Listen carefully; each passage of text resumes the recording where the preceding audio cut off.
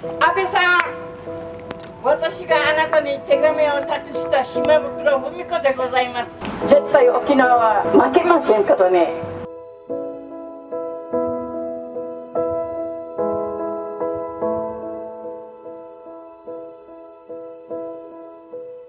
戦争はダメですよ。基地はどこにも置いてはいけません。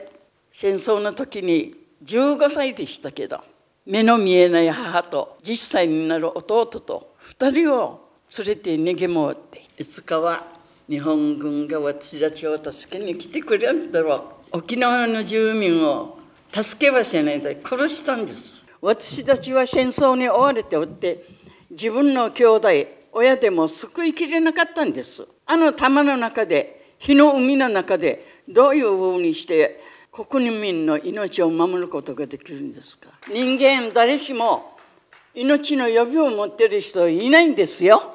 二度と戦争はやってはいけないと思ってるんです。ですから命を懸けてゲート前には座ってるんであってですね面白半分に座ってるんじゃないんですよ。基地を止めない限り私は死んではいけないと。生きながらえてどんなにしてでも基地を止めようと思っています。みんなで止めましょうね。